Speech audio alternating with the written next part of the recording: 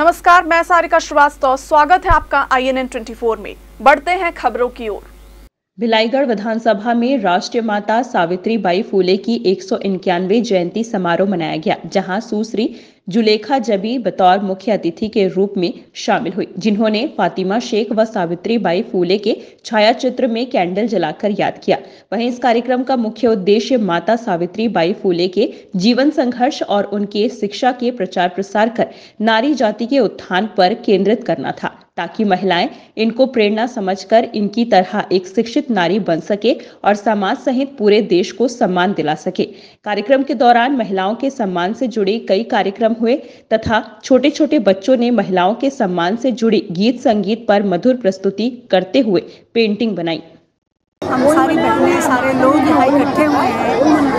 कि भारत जो लोकतांत्रिक देश है, उसमें आज आम बहुजन मूल निवासी कहाँ पर है? और हमारे लोकतंत्र की क्या स्थिति है?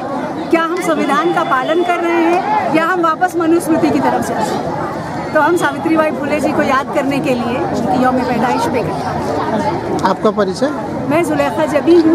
Fatima Sheikh Savitri Phule counselling and training centre की फाउंडर हूँ और दिल्ली रहे तो जो मेरी बात सुन रहे हैं उन सबसे आपके माध्यम से यही बताना चाहूँगा कि माता सावित्री बाई फुले को अपने घर में रखें उसके बारे में पढ़ें और उनसे प्रेरणा लेकर जो है घर घर में मनाएँ। और एक अपील और करना चाहूँगा कि कल जो है तीन जनवरी है हम आ, कुछ कारणवश हम एक दिन पहले मना रहे हैं कार्यक्रम।